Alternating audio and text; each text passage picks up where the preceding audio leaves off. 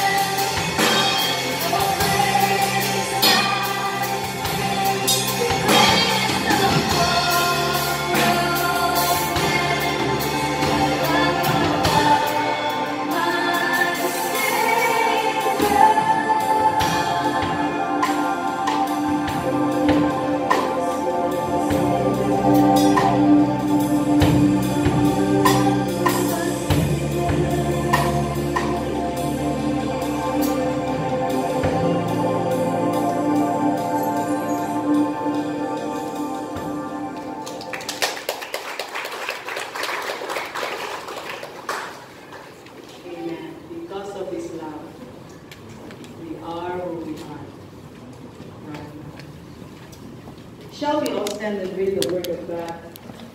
Open our Bibles and the book of Romans. We read from chapter 14.